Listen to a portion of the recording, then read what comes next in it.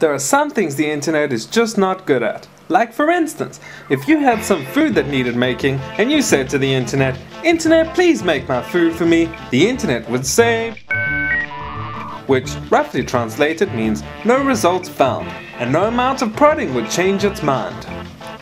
Similarly, if you had some really terrible weather outside and you asked the internet for its help, no matter how politely you asked, it would just say there are some things though that the internet does very well, like shopping. What if you needed a digital camera? Simplicity Online. Do they have digital cameras? Of course. They even have cables for these digital cameras. Fast, easy, secure.